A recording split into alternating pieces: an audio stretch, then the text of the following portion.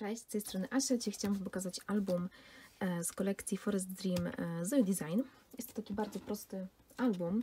E, Na zdjęcia wklejane. Tak jak widzicie ma taką dość ciekawą okładkę, bo ona jest asymetryczna. Tutaj tył mamy dłuższy, tutaj przód jest węższy.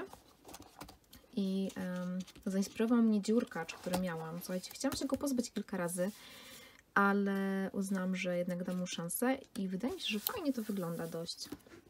Także tak to wygląda.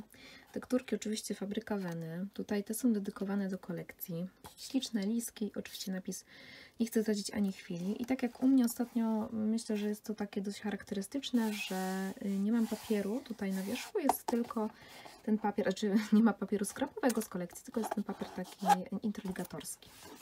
No i pokażę Wam, jak to wygląda. Każda strona jest różnej długości. Aha, to jest na sprężynie. Tak to wygląda. Gdzie tutaj jest taki haczyk? Jest na sprężynie i każda strona jest y, innej szerokości. I tutaj będę wklejać po prostu zdjęcia. Nie ma żadnych kieszonek. I tutaj z, y, z te lewe strony mm, są, są tylko z paseczkiem. I tak to wygląda. Wszystkie oczywiście są papiery z kolekcji. Staram się, żeby jakoś tak pasował do siebie, ale też nie, żeby nie było jednostajnie.